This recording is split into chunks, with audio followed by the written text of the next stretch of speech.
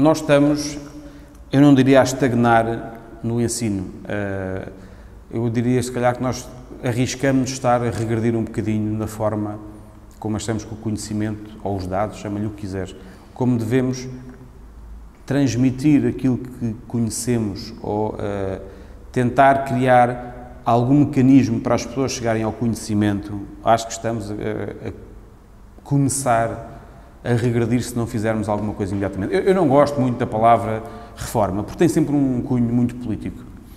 Mas uma reformulação profunda uh, ao nível, não só, é, é porque isto é muito complexo, não só ao nível daquilo que, que, é, que, é, que é dado nas aulas, que é lecionado, mas sobretudo aos professores que dão.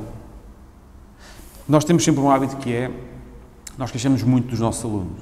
Uh, não estão atentos, estão, estão muito dispersos, não, não, não, não gostam disto, estão... Até nós? Nós continuamos a usar os mesmos modelos para públicos diferentes. Não estará, se calhar, na altura de pensarmos o perfil do professor. Porque pensar, ah, o perfil do aluno, a saída do perfil do aluno, o aluno vai fazer. Até e o professor?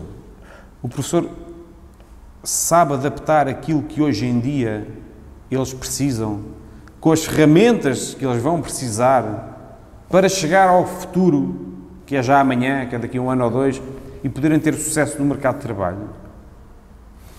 Se há uns anos havia um fosso enorme entre o mercado de trabalho e a academia, agora ele é muito maior. Por duas razões. Primeiro, porque o próprio mercado de trabalho não sabe muito bem a quantas anda.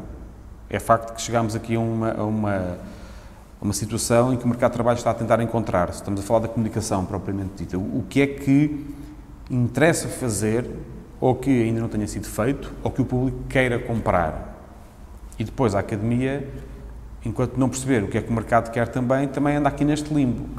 O problema é que, paulatinamente, ou paralelamente, há um processo de desenvolvimento tecnológico cada vez mais acentuado que faz com que, eu não diria as profissões tradicionais, mas os saberes tradicionais acabem por ter que absorver essa tecnologia ou migrar para essa tecnologia para poderem continuar a ser feitos. E nesse caminho, ou nesse processo, a academia tem obrigatoriamente que acompanhar, ou deve acompanhar. Uh, dizer que isso é para os mais novos é assumir claramente que nós não conseguimos dar a volta, ou assumir claramente que os mais novos que tratem disso. Isso é uma triste realidade e é o reflexo da falência dos modelos. Inevitavelmente. Tu, quando tens a sensação de que um aluno que te chega, uh, um aluno, seja ele qual for, mas estamos a falar, imagina neste caso particular, do, do, do, do ensino mais, uh, mais politécnico.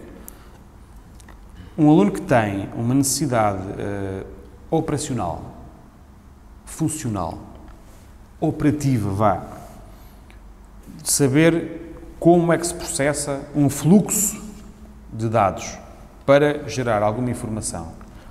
Sendo que, vamos imaginar no processo jornalístico, desde, desde a fonte até à publicação, se ele percebe, ou se ele tem que perceber, ou que é obrigado a perceber que o processo convém que seja o mesmo na confirmação das fontes, em checar tudo aquilo, de, até ao processo da publicação, se ele, no meio, bloqueia, ou para, ou não percebe como é que deve fazer?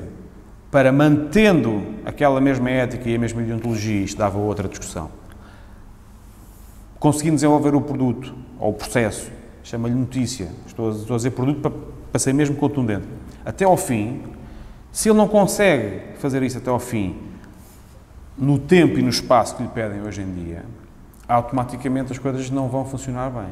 Podemos aqui discutir outra coisa. Então, mas é desejável que assim seja? Não sei. Uh, se calhar o próprio mercado e a própria academia têm que tentar perceber, têm que se entender sobre aquilo que é de facto o mais interessante.